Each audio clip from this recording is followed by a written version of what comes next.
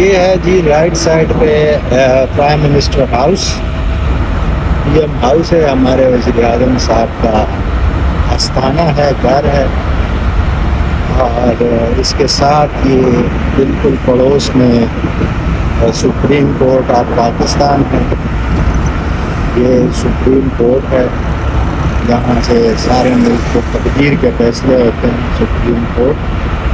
اور بالکل اس کے ساتھ ہی یہاں پہ ہے جی پارلیمنٹ ہاؤس جہاں پہ قانون سازی ہوتی ہے ہمارے ملک کی۔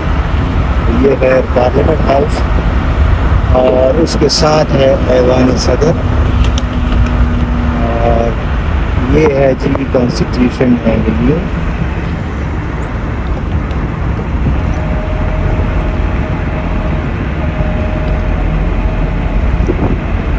جو ہے ایوان صدر ہے، کیونکہ آج نو محرم الحرام ہے تو زیادہ تر دفاتر بند ہے رش نہیں ہے۔